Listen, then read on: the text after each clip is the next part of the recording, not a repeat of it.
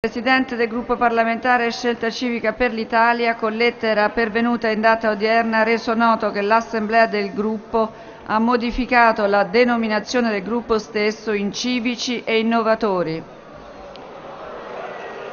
Comunico, colleghi per favore, comunico che l'ufficio di presidenza nella riunione odierna a norma dell'articolo 14,2 del regolamento ha deliberato di autorizzare la costituzione del gruppo parlamentare Scelta Civica verso Cittadini per l'Italia MAIE.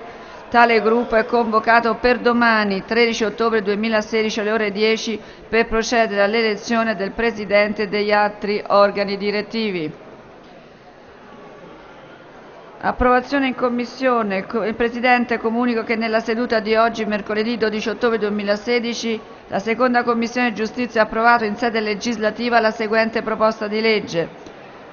Allora, eh, modifiche all'articolo 609 septis del Codice Penale concernenti il regime di procedibilità del delitto di atti sessuali con minorenni, alla quale sono state abbinate le proposte di legge numero 3873 Bechis e 3939 Brignone.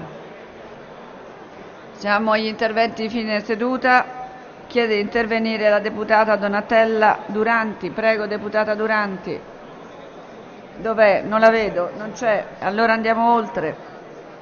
Andiamo oltre. L'altro intervento del deputato Davide Crippa. Prego, deputato Crippa.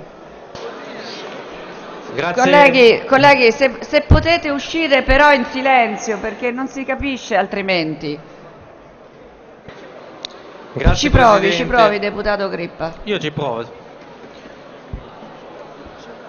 Rileviamo che dal sito Invest in Italy e nella brochure distribuita agli imprenditori qualche tempo fa dal governo in occasione della presentazione del piano Industria 4.0, ma anche durante le audizioni che ci sono state la scorsa settimana col ministro Calenda,